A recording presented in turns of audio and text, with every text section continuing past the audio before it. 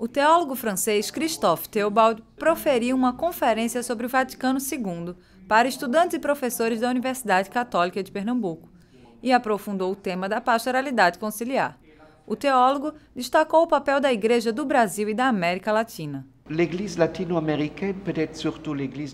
A Igreja Latino-Americana e, sobretudo, a Igreja do Brasil soube integrar toda a questão religiosa.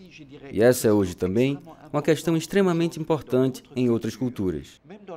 Mesmo na cultura europeia, o ser humano é hoje, ao mesmo tempo, muito secularizado, cada vez mais secularizado. E é preciso falar da fé de uma maneira bem humana, o que o concílio quis fazer. Mas, ao mesmo tempo, há tendências multireligiosas, sincretistas, e é preciso poder dirigir-se a esses movimentos e a esse desejo religioso no seio do povo cristão e do povo brasileiro. E é isto a pastoralidade também.